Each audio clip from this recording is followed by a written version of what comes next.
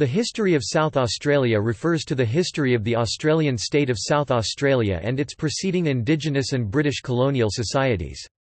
Aboriginal Australians have lived in South Australia for tens of thousands of years, while British colonists arrived in the 19th century to establish a free colony, with no convict settlers. European explorers were sent deep into the interior, discovering some pastoral land but mainly large tracts of desert terrain. The colony became a cradle of democratic reform in Australia. The Parliament of South Australia was formed in 1857, when the colony was granted self-government. Women were granted the vote in the 1890s. South Australia became a state of the Commonwealth of Australia in 1901 following a vote to federate with the other British colonies of Australia. While it has a smaller population than the eastern states, South Australia has often been at the vanguard of political and social change in Australia. Topic: Aboriginal settlement. The first people to occupy the area now known as South Australia were Australian Aborigines. Their presence in northern Australia began around 40,000 to 60,000 years ago with the arrival of the first of their ancestors by land bridge from what is now Indonesia. Their descendants moved south and, though never large in numbers, occupied all areas of Australia, including the future South Australia. Evidence for human activity in South Australia dates back more than 65,000 years ago with ceremonial sites and rock art in the Flinders Ranges and flint mining activity and rock art in the Koonalda Cave on the Nullarbor Plain. In addition wooden spears and tools were made in an area now covered in peat bog in the southeast. Kangaroo Island was inhabited long before the island was cut off by rising sea levels. Temporary campsites in the Roxby Dunefields have been dated to 19,000 years ago, and Aboriginal people have continuously occupied South Australia deserts since that time. By the time immediately prior to the British settlement of Australia, there were a large number of distinct societies and language groups in what is now South Australia. It is possible to speak of at least two dominant cultures present in South Australia prior to European contact, although there were many distinct societies within each of these cultures. The first was dubbed the Lakes Group by early anthropologists Elkin and Howitt. The Lakes Group culture stretches north of the Mount Lofty Ranges, up into the Flinders Ranges to around Lake Eyre, and across the Eyre Peninsula. This cultural grouping spoke at least somewhat mutually intelligible languages, which are known collectively as Thura-Yura languages. They also shared rituals. The second major group was and remains the Western Desert Group, or the Western Desert Cultural Bloc. This group of cultures encapsulates the land north and west of Lake Eyre, and the land west of the Eyre Peninsula. It extends well beyond South Australia into Western Australia and the Northern Territory. The Western Desert cultures speak largely mutually intelligible languages, so much so that some linguists believe the separate languages should be called dialects of a wider, Western Desert language. These languages are among the healthiest Aboriginal languages in modern Australia, including Pitjantjatjara and Yankunytjatjara. Many other cultures existed in South Australia at this time that do not fit neatly into the above groupings, such as the various societies that had been established along the River Murray, as well as the Ngarrindjeri of the Coorong and Lake Alexandrina area, and the various societies that existed to the southeast. European exploration The first recorded European sighting of the South Australian coast was in 1627 when the Dutch ship T. Golden Zeepaert, the Golden Seahorse, skippered by François Thijssen, examined the coastline. Thijssen named his discovery, Peter Nuyt's Land, after the highest-ranking individual on board. In 1801–02 Matthew Flinders led the first circumnavigation of Australia aboard HMS Investigator, a Royal Navy survey ship. French captain Nicolas Baudin was also on a survey mission in 1802, independently charting the southern coast of the Australian continent with the French naval ships the Géographe and the Naturaliste. The British and French expeditions sighted each other, and despite France and Britain being at war at the time, they met peacefully at Encounter Bay to the southeast of the Fleurieu Peninsula. Baudin referred to the land as Terra Napoleon, on the same voyage, Baudin named the Fleurieu Peninsula after Charles-Pierre Claret de Fleurieu, a French explorer and statesman. In 1802 Flinders named Mount Lofty but recorded little of the area which is now Adelaide. Both missed the Port Adelaide River Inlet, whose position was first accurately located and charted by William Light in 1836. Charles Sturt led an expedition from New South Wales in 1829, which followed first the Murrumbidgee River into a broad and noble river, which he named the Murray River.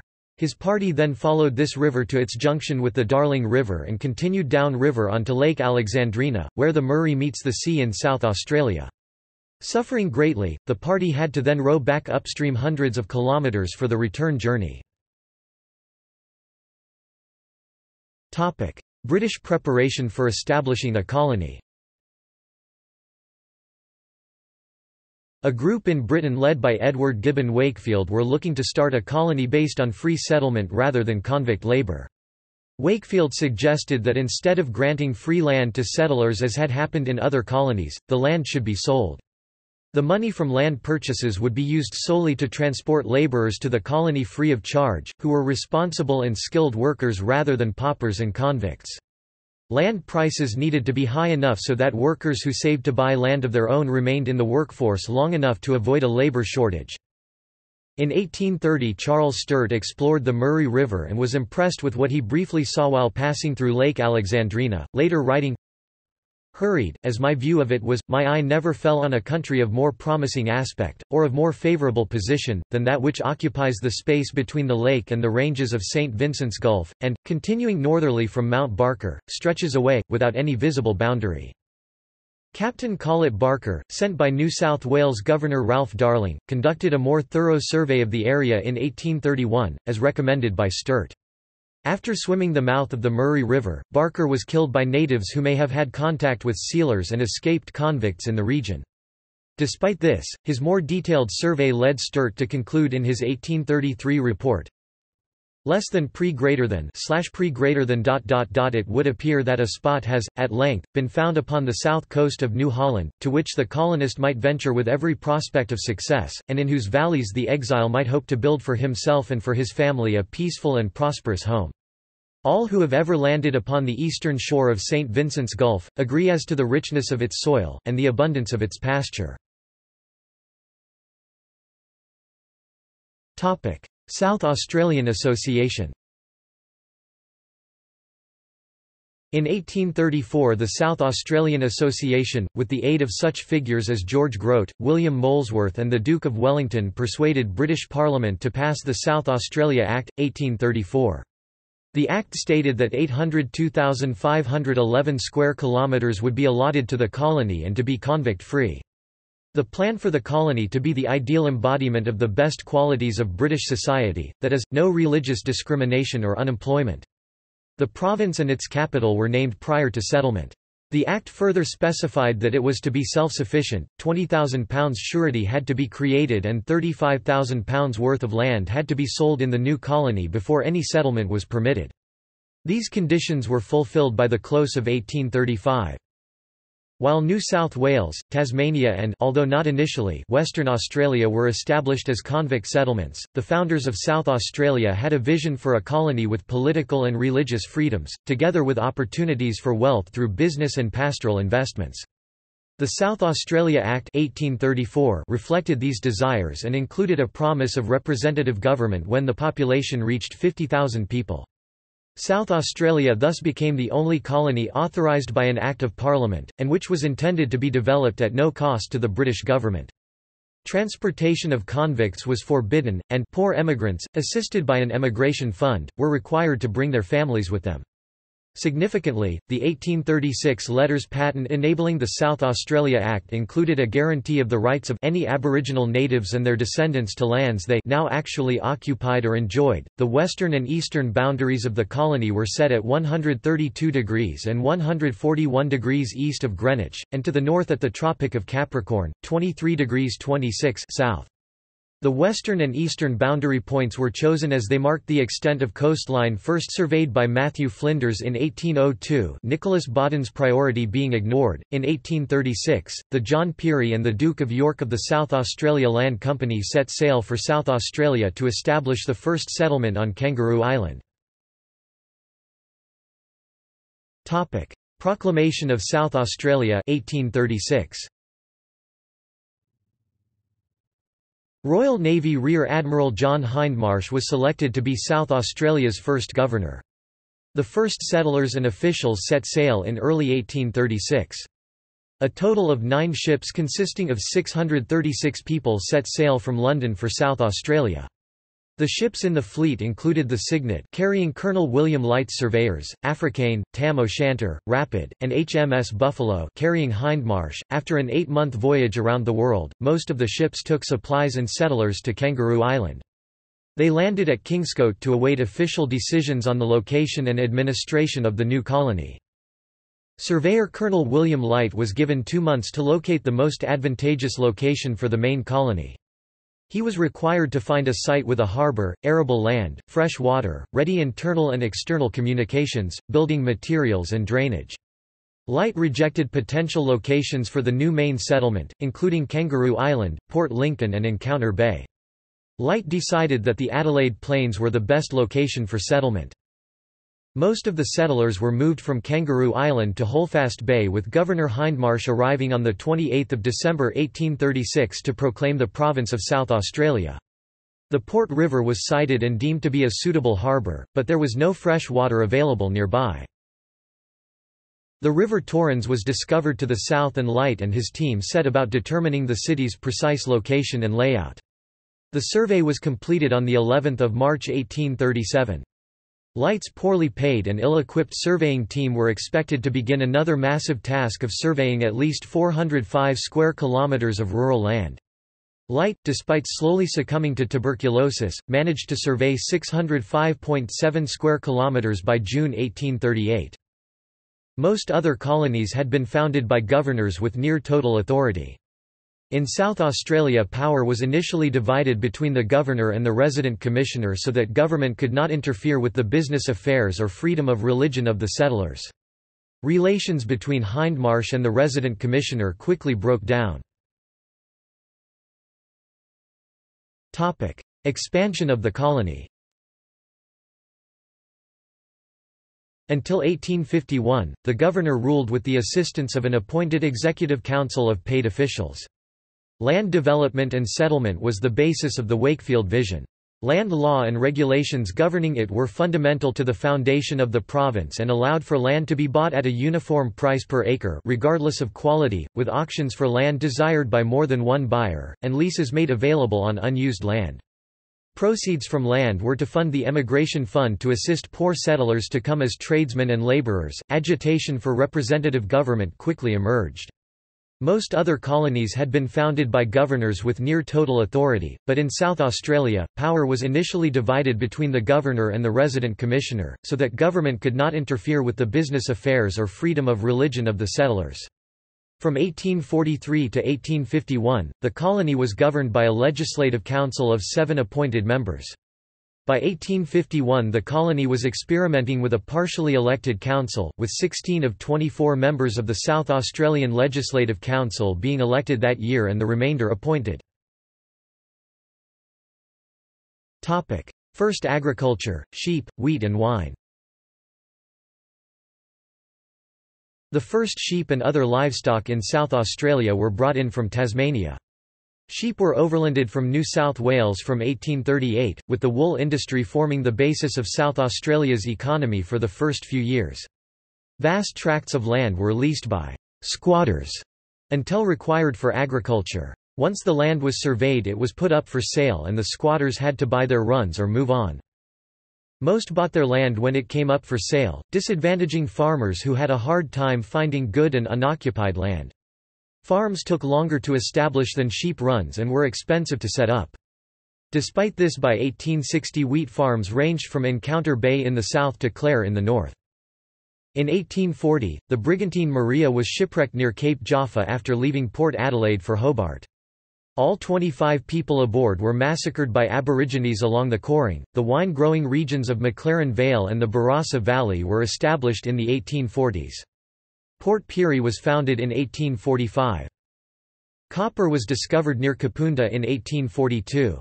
In 1845 even larger deposits of copper were discovered at Burra which brought wealth to the Adelaide shopkeepers who invested in the mine. John Ridley invented a reaping machine in 1843 which changed farming methods throughout South Australia and the nation at large. By 1843, 93 square kilometres of land was growing wheat compared to 0.08 square kilometres in 1838. Toward the end of the century South Australia would become known as the Granary of Australia. Gold discoveries in Victoria in 1851 brought a severe labour shortage in Adelaide which was created by the exodus of workers leaving to seek their fortunes on the goldfields. However, this also created high demand for South Australian wheat. The situation improved when prospectors returned with their gold finds. During the 1850s over 5,400 hard-working Germans settled in South Australia. Many started off the wine industry in the Barossa Valley and they opened the first Lutheran church in Hahndorf. South Australians were keen to establish trade links with Victoria and New South Wales, but overland transport was too slow. A £4,000 prize was offered in 1850 by the South Australian government for the first two people to navigate the River Murray in an iron steamboat as far as its junction with the Darling River. In 1853 William Randell of Mannum and Francis Cadell of Adelaide, unintentionally making the attempt at the same time, raced each other to Swan Hill with Cadell coming in first. By the mid-19th century, there was a strong desire for representative and responsible government in the colonies of Australia. In 1840, the Adelaide City Council was established as the first city council in the Australian colonies.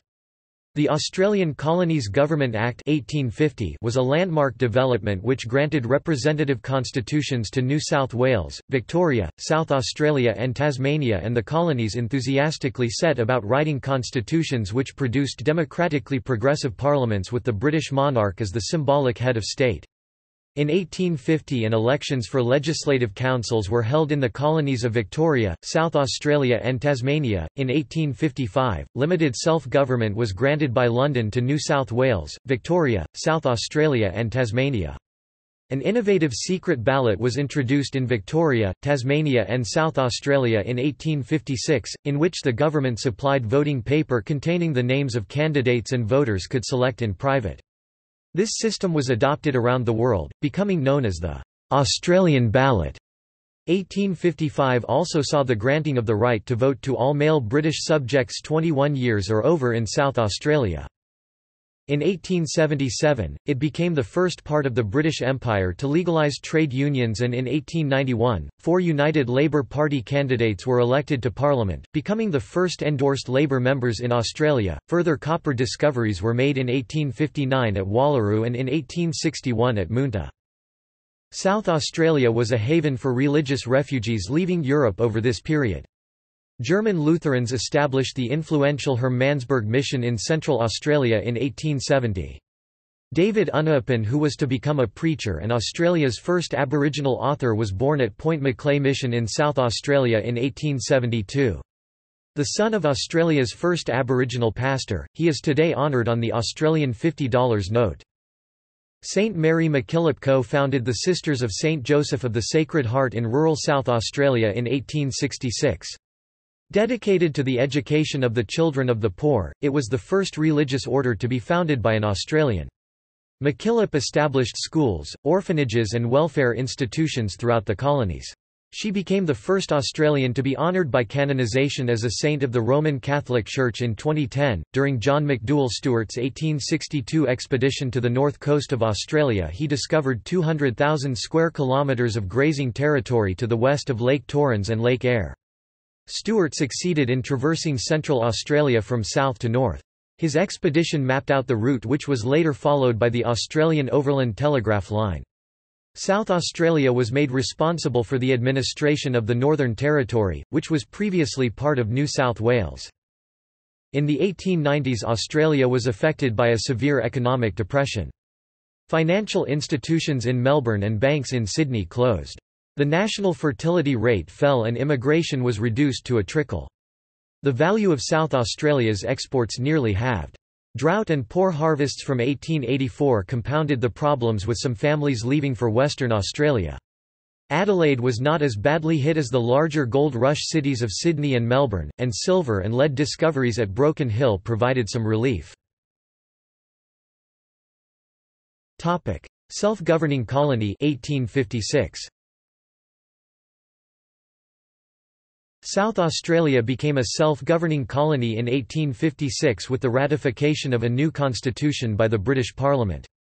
A bicameral parliament was elected on 9 March 1857, by which time 109,917 people lived in the province. South Australia's 1856 constitution was among the most democratic in the world, more so than the other Australian colonies, the United Kingdom and most European countries at that time. It provided for, adult male suffrage including indigenous men, secret ballot voting, one man, one vote, no property qualifications for members of its House of Assembly and a relatively low property qualification for members of its Legislative Council. Propertied women in the colony of South Australia were granted the vote in 1861.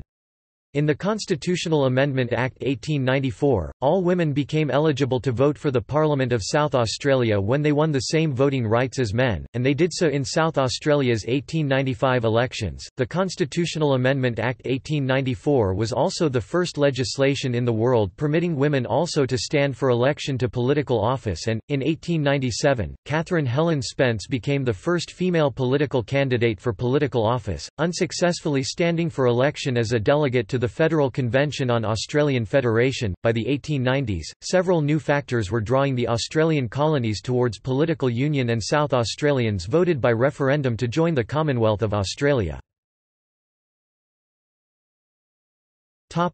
20th century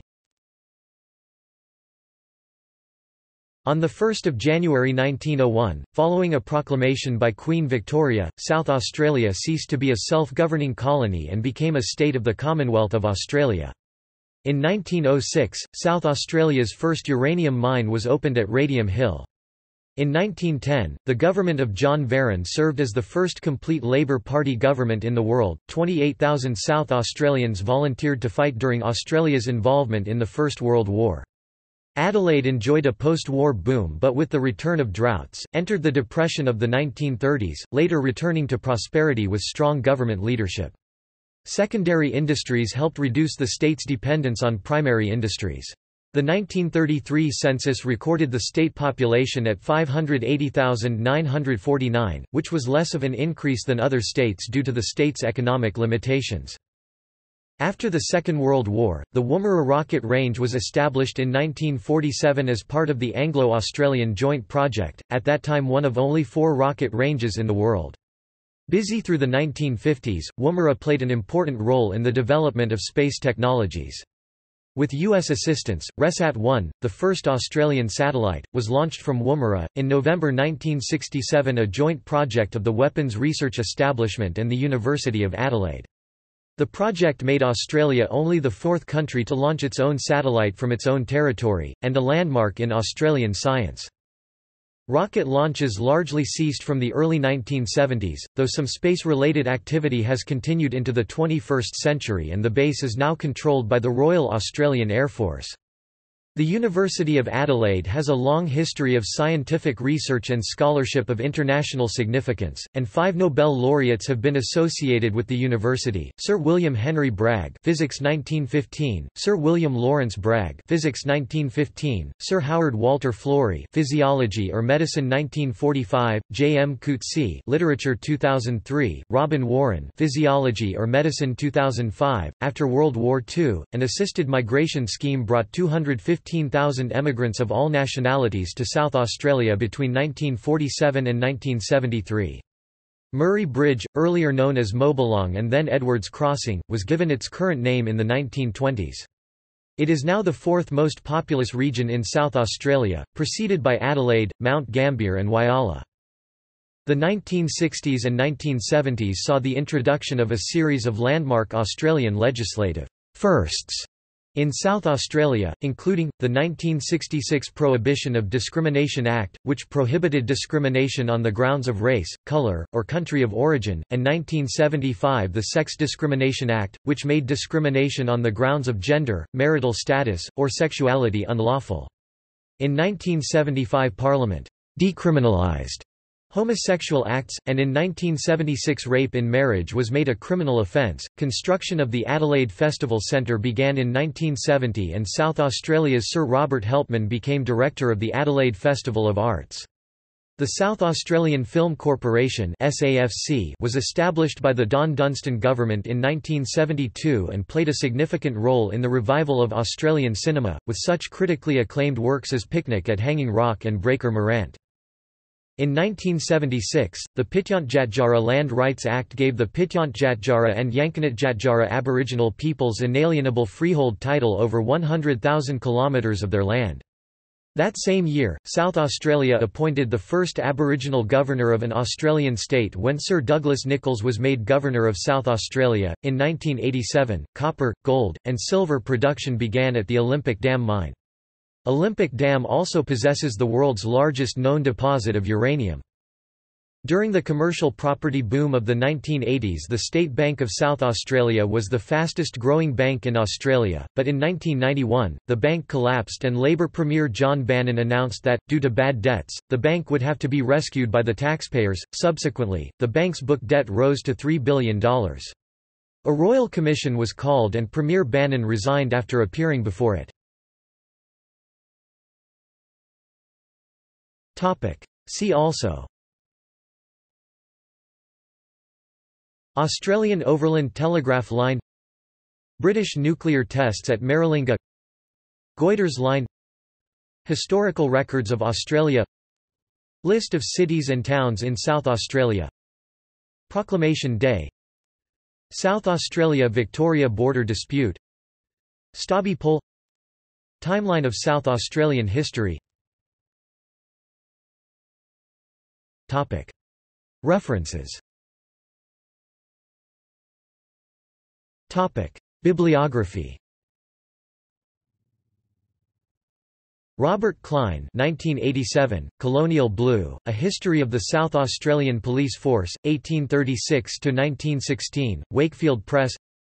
Dorothy Jauncey 2004, Bardi Grubs and Frog Cakes South Australian Words, Oxford University Press ISBN 0-19-551770-9 Elizabeth Kwan 1987, Living in South Australia, A Social History Volume 1, From Before 1836 to 1914, South Australian Government Printer Susan Marsden 1998, South Australia, in G. Davison, J. Hirst, S. McIntyre, eds. The Oxford Companion to Australian History, Oxford University Press ISBN 0-19-553597-9 Paul Sendziuk, Robert Foster 2018, History of South Australia, Cambridge University Press Derek Whitelock 1985, Adelaide, From Colony to Jubilee, Adelaide, Savas Publishing